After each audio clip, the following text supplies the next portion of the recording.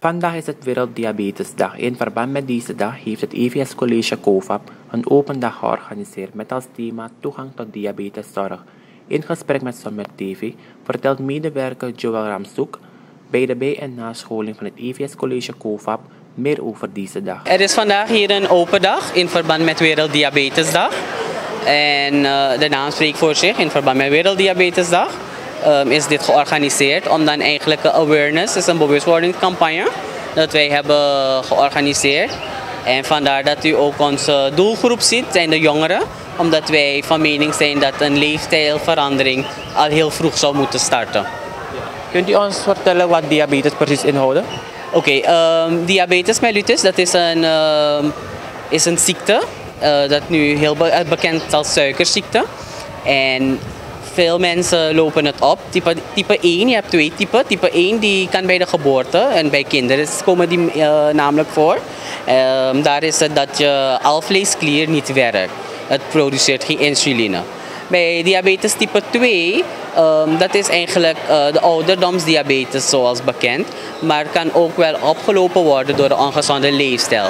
Doordat er te veel vetten zijn die verhinderen dan de insulineopname in de cellen. Waardoor je het kan oplopen. En ehm, dat kan heel goed voorkomen worden of lang mogelijk uitgesteld worden. ehm, als je een gezonde leefstijl op nahoudt. Ja, en de verschillende types diabetes, welke is meer schadelijk? Nou, diabetes op zich is schadelijk, type 1 en type 2. Maar omdat type 2 eigenlijk de meest voorkomende is, ehm, wordt er steeds meer aandacht besteed aan de preventie voor type 2. En type 1 is een aangeboren afwijking, zeg maar. Dus daar kan je dan ehm, niet zoveel aan doen, aan type 2 wel. Hoe kun je het genezen? Het is niet te genezen, het is wel op peil te houden door een gezonde leefstijl natuurlijk. En wat is een gezonde leefstijl? Ehm, het gaat natuurlijk om de balans tussen je voeding, bewegen en ik zeg altijd diabetes moet je zien als een spel. Als je de spelregels volgt, ehm, gaat alles goed. Het moment dat je de spelregels niet volgt, komen er andere complicaties bij kijken. Het aantal patiënten in Suriname. Als we praten over het aantal patiënten in Suriname, waar staat Suriname? Nou, ehm, er is een alarmerende stijging. Er zijn geen recente onderzoeken, maar wereldwijd is er in 2020, 2020 een onderzoek gedaan waarbij 1 op de 11 volwassenen eh, aan diabetes mellitus lijden. En uit de mensen die aan diabetes mellitus lijden, is jammer genoeg dat eh 50% niet op de hoogte is van hun ziekte. Ze zijn niet gediagnosticeerd. Ja, hoe geschiet de behandeling van een patiënt? De behandeling, het hangt eigenlijk vanaf in welke, ehm, hoe eh, de ziekte zich ontwikkelt. Is het, een, eh, is het pas, ben je in een prediabetesfase noemen we dat, ehm, kan je dat heel goed oppakken doordat je gaat sporten, je eet- eetstijl verandert ehm, en eh, eigenlijk de regels volgt om eh, zo snel mogelijk, eh, bij de prediabetesfase is het nog mogelijk om eh, de mogelijkheid om diabetes op te lopen te stoppen. Als je al diabetes bent, is het dan heel belangrijk dat je ook wel gaat kijken naar je eetstijl, naar de medicijnen die je voorgeschreven krijgt van de arts. En ehm, bepaalde mensen zijn insulineafhankelijk, dus dan moet je op tijd je prikjes nemen. Je moet weten hoe lang van tevoren je moet eten om je medicatie op te in te nemen. Ehm, nou, reguliere controles. Dat zijn eh, enkele zaken die je moet volgen. U u, gaf daar net aan dat er bijna geen genezing is tegen diabetes. En hoe, wat is eigenlijk de levensduur van zo'n patiënt? Nou, de levensduur, zoals ik het zei, als je als je aan de spelregels houdt, kan je heel lang eh, leven met diabetes. Yes. Dus met, als je bijvoorbeeld jarenlang diabetes hebt, of dus die ziekte hebt, kan je gewoon jarenlang leven Je kan jarenlang leven. Het is namelijk zo dat bij mensen, hoe ouder je wordt, eigenlijk ehm, eh, er wel een verergering te zien is. Maar dat is goed te helpen met medicijnen. En daarom zien we dat veel oudere mensen soms van medicijnen naar insuline inspuiten gaan. Dat is omdat het lichaam steeds minder reageert. Ehm, het, eh, de opname van insuline wordt steeds slechter. Dus dan moet dat gestimuleerd worden door insuline zelf toe te dienen. Voor, wordt er voor het eerst gehouden zo'n open dag? Nee, het is eh, jaarlijks houdt Co- COVAP, het EFS College COVAP, in het kader van Werelddiabetesdag activiteiten. We hebben vorig jaar ook zo'n uh, open dag, een minibeurs gehad. En dit jaar hebben we dat weer georganiseerd. Vorig jaar was het met dezelfde school of met de andere school? Nou, er was een andere doelgroep. Er waren andere uitgenodigden. En dit jaar hebben we ons gefocust op de scholen. Uh, omdat wij dan de levensstijl willen uh, veranderen. Het, uh, de awareness willen creëren. Ja, en het thema van het jaar is ja, de toegang tot diabeteszorg. Waarom is er daarvoor gekozen? Nou, er is daarvoor gekozen omdat dat eigenlijk wereldwijd het thema voor dit jaar is voor Werelddiabetesdag. Uh, access to diabetic care. En met de slogan Know Your Risk, Know Your Response. Wat is de boodschap in verband met deze dag? Nou, de boodschap in verband met deze dag is dat uh, onze gezondheid in onze eigen hand ligt. Leeftijds, een leefstijlverandering is uh, van eminent belang om diabetes mellitus zo lang mogelijk te voorkomen. We hebben ook gesproken met leerkracht Maureen Blankendaal van de Wimbas Verschuur Mulo School en zij vertelt waarom de school gebruik heeft gemaakt van deze gelegenheid. Uh, dit heeft te maken met uh, is een gezondheidsbeurs en de groep die hier aanwezig is, zij uh, volgen eigenlijk een van de nieuwe vakken, sector gezondheidszorg. Dus het heeft ook daarmee te maken. Dus vandaar dat we dan hier naartoe zijn gekomen. En wat houdt het pak sector en gezondheidszorg in?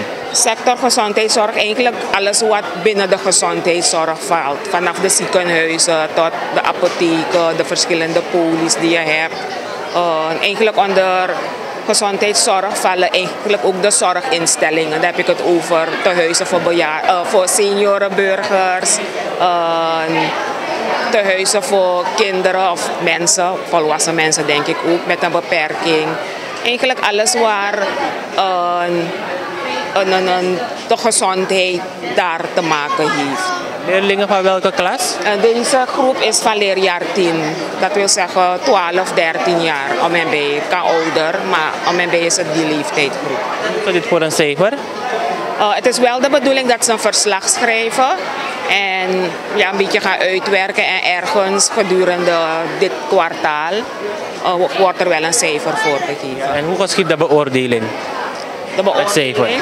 Uh, ze schrijven een verslag. Eigenlijk moeten we dat nog gaan bekijken hoor. Want uh, ze doen dit nu. Ze gaan een verslag schrijven.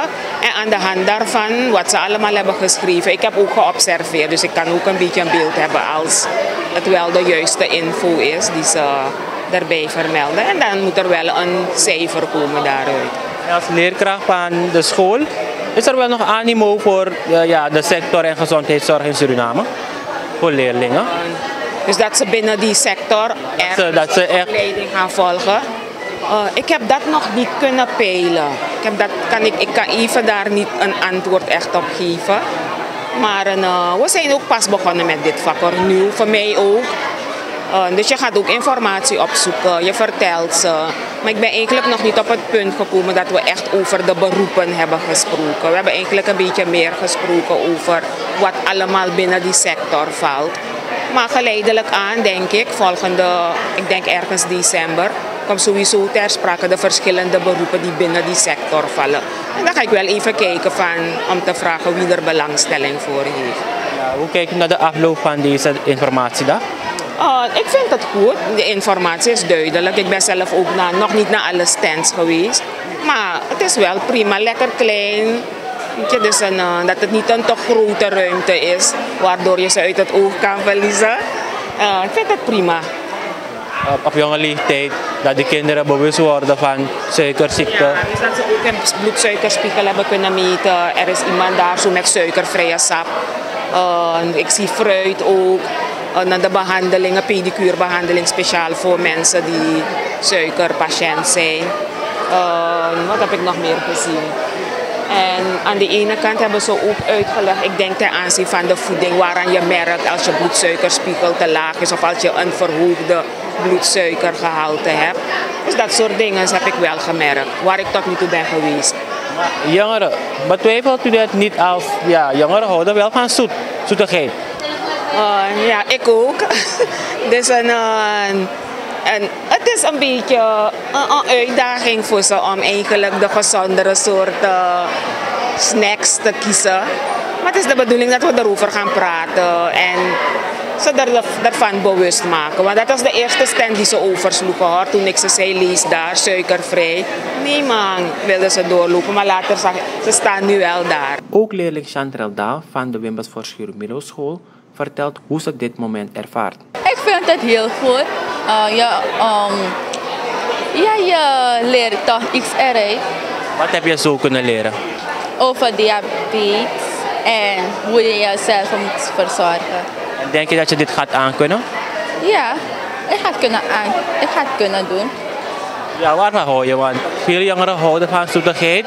Hou je ook van zoetigheid? Heel veel. Hoe ga je dit aankunnen? Ik, ik weet dat niet. Het is gewoon als ik een dagje zonder zoet kan, ga ik het kunnen proberen. Hoe ga je verder doen met die informatie? Um, ik weet het niet. Met die informatie een verslag maken en voor je vrouw aan je vrouw geven en een cijfer ervoor krijgen. Wat verwacht je van het cijfer? Dat het een voldoende gaat zijn.